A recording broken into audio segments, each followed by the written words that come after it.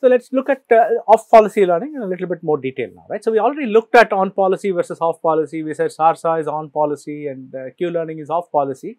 The main reason was uh, we said that uh, we will have uh, two different policies, right. So, one according to which we are taking samples from the world, but another policy that we are trying to evaluate, right. So, in the Q learning case, it was the greedy policy that we are trying to evaluate, but epsilon greedy policy or some other uh, you know random policy that we are using for drawing samples, right. So, that is that was why it is called off policy, right. So, but there is a very specific instance, right, from the same Q function, there is a greedy policy versus an epsilon greedy policy. So, that is what we were looking at, right. But the, the idea behind off policy learning can be generalized even further and I am going to cover this a little bit because later uh, we will be using off policy updates uh, uh, in many many algorithms that we will see right. So, we will look at it in a little bit more detail right. So, the idea behind this is you have one policy pi right which we call the target policy or the evaluation policy for which you have to compute v pi or q pi. So, whatever be the case you are trying to compute v pi and q pi for a policy pi right. But you are not able to sample the world according to pi you are sampling the world according to mu for whatever reason right. So, what are possible reasons pi could be uh, you know a deterministic policy like in the greedy policy case there was no exploration there was only one action for every state right. So, that was what pi was. In such a case you will not get any exploration in the world while you are drawing samples and therefore you might get stuck in some local optima right.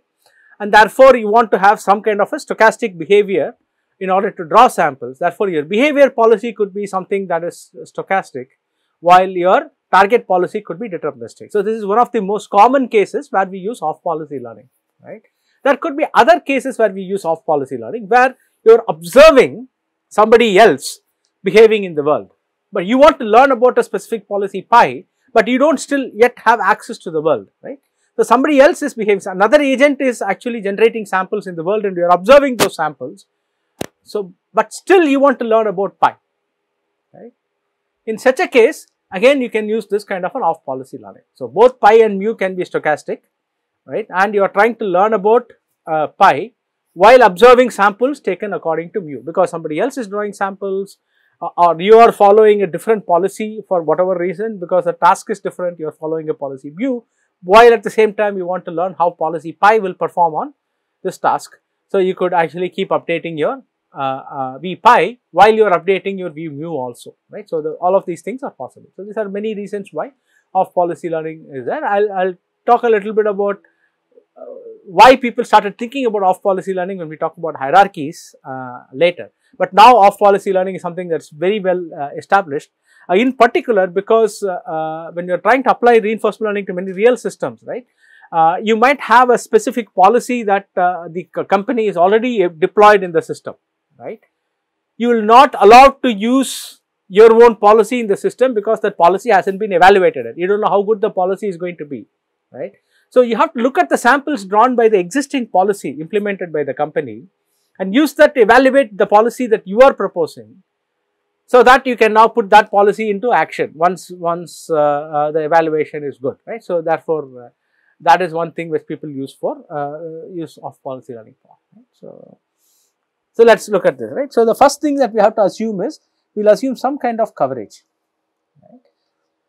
So, for every action that can be taken under pi. So, what do I mean by that? If pi of a given s is greater than 0 in that particular state s, so there is some probability that a can be taken. That means that mu of a comma a given s should also be greater than 0, right. That makes sense?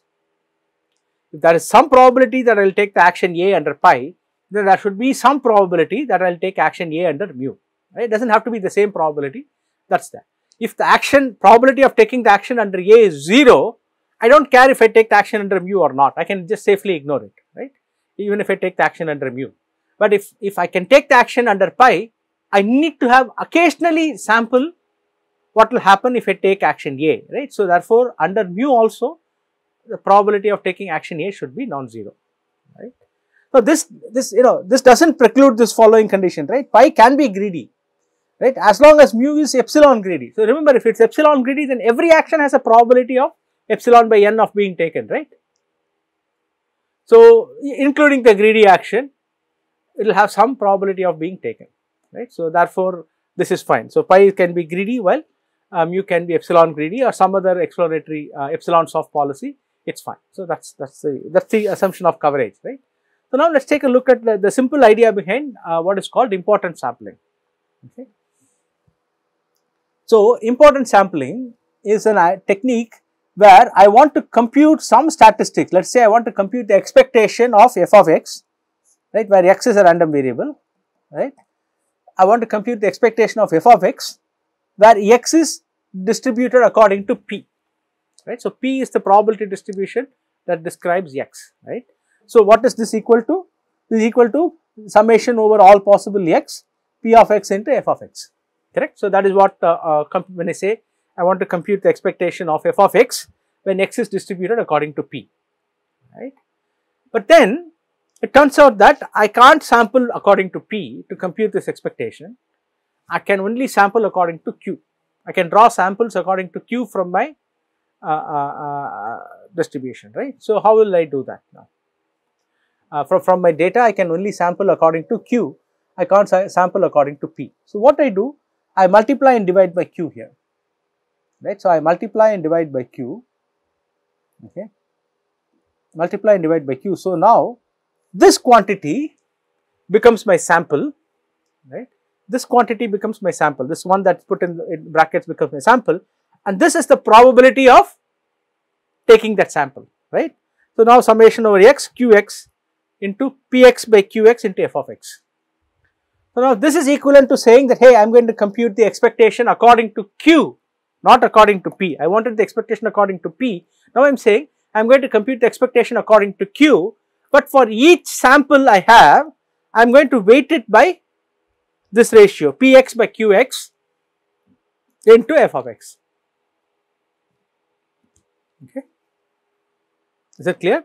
So, instead of saying that I am going to compute the expectation of f of x according to P, I am going to say I am going to compute the expectation of f of x times some w of x f of x times some w of x according to q. Okay? So instead of f of x by p i am going to compute wx f of x according to q. Right? So where this weight ws f of x right? The weight ws f of x is given by px by qx where px is the probability of seeing x under the original distribution and qx is the probability of seeing x under the sampling distribution. Okay. So, that is why this is called important sampling because this, this weight that I have here right px by qx is, is a measure of how, how important the sample x is. So, why is that? Suppose x is very probable under p but very rare under q. That means I am going to see it very very occasionally that means I will have to give it a lot of weight in computing the expectation because this is something that is frequent under P, but under Q I can only, I will see this only very rarely and therefore, whenever I see this under Q I have to latch on to it and give it a larger weight. So, that is basically uh, why it is called an importance uh, uh, uh, weighted sampling or importance sampling and this uh, uh, scaling factor is called the importance weight. Okay. And this also tells you why uh, we had the condition earlier that alignment uh, condition earlier uh, the coverage condition right. So, uh, whenever p of x is non-zero, right, we want q of x to be non-zero, otherwise this ratio, whenever p of x is non-zero, we want q of x also to be non-zero, otherwise this ratio is not defined, right, because there will be p of x will be some positive number and q of x will be 0, so therefore this ratio is not defined, right. So whenever p of x is 0, we can kind of ignore it from the summation, therefore I do not care about what q of x is, q of x can be 0 also, but uh, I, I do not care about that because this thing will, will actually not be used in my expectation computation. That sample x will not be used in my expectation computation. So, that is that is basically what important sampling is and we can take this important sampling idea and apply it to off policy learning. How? So, somehow we have to figure out what will be first of all we have to think about what is my x right what is my what is my f of x that is something that I have to think about right. The second thing is how will I compute my p of x now, my p of x is going to be some function of pi, right, because that is my uh, uh, uh, my target policy, right. So, p of x will be some function of pi and q of x will be some function of mu, right. So, p of x will be some function of pi and q of x will be some function of mu and I will I will use this idea uh, this important sampling idea to, to do uh, efficient learning for off policy sampling as well. Okay. So, how do we do that right. So, I have written down the expression here, but we will just sit down and look at how this expression comes about right. The first thing we will have to think about is what is my x right what is my x. So, my x is the, the, the random variable right. So, what is my random variable here? My random variable here is actually the, the, the, the return right. So, the random variable is actually the return because that is what I am trying to uh, uh, sample here and I am taking the average of that return to get my value function right. So, that is that is uh, uh that is what I am looking at right. So, I am looking at expected value of gt that is that is the thing right. So, now my gt on but is dependent on the sequence of states that I am going to see right the trajectory that I am going to see right. So, my GT depends on the actual trajectory that I am going to see. Right? So, let us say my trajectory is uh, uh, uh, some trajectory is now run for some t time steps.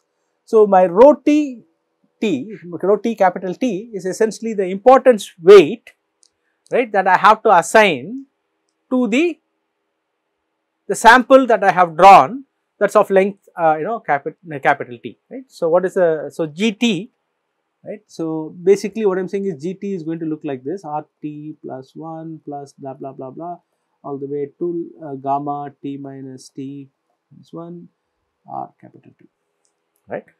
So, that is basically what I have gotten. So, I have to look at what is the probability that I have generated this right. So, what is the probability I have generated this? So, it is essentially a function of my policy pi and the transition that I am making which is given by P, right. So, let us say that this return comes from looking at uh, you know ST, AT, ST plus 1, AT plus 1 and so on so forth, right. So, now what happens, okay, what is the probability that I pick AT in ST that is pi times what is the probability ST plus 1 resulted from ST by taking action AT. So, probability of ST plus 1 given ST comma AT. Likewise, then probability of picking AT plus 1 in ST plus 1 and, and so on so forth. So That is basically how this is going to go, right.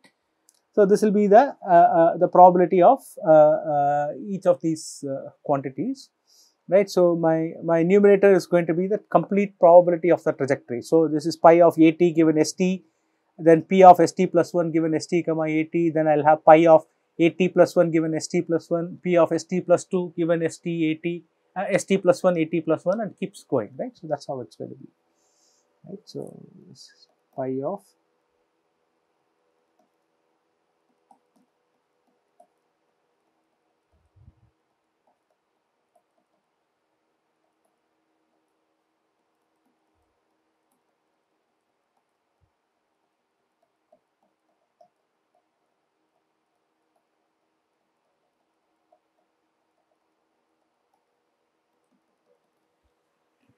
right until going all the way until p of st given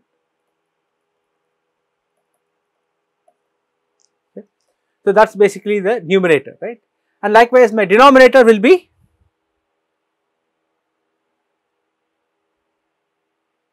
what is the probability of seeing the same trajectory when I am following policy mu as opposed to following policy pi right. So, what will happen is wherever there was a pi that will become mu, the rest of it will stay the same. Right? Wherever there is a policy pi, it will become mu and the rest of the policies uh, uh, probabilities become the same. So, that is basically what my denominator would be. Now, what I can do is this corresponding transitions will get cancelled out, right, because they are the same in the numerator and the denominator. What I will be left with is the following uh, uh product, right. So, for every uh, uh, for every step, right, I look at the ratio of pi of at given st divided by mu of at given st, right. So, that will be my ratio pi of at given st divided by mu of at given st will, be, will be the ratio and then I will I will take the product of these ratios or I can also take the sum of log of pi by mu.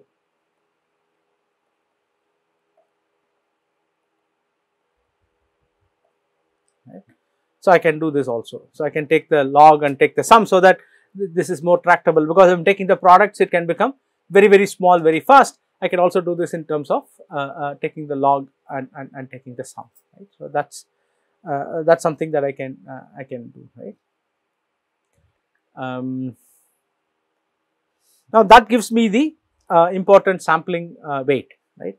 So, once I have the important sampling weight I can do this average return for V of s which is basically GT right GT weighted by this uh, uh, uh, important sampling ratio and divided by the total uh, important sampling weights that I have. So, that so that I basically get the average of the return right. So, that is basically what uh, what I can do with off policy right. So, this is off policy Monte Carlo uh, Uh, with weighted uh, uh, important sampling. So, that gives me that is this expression.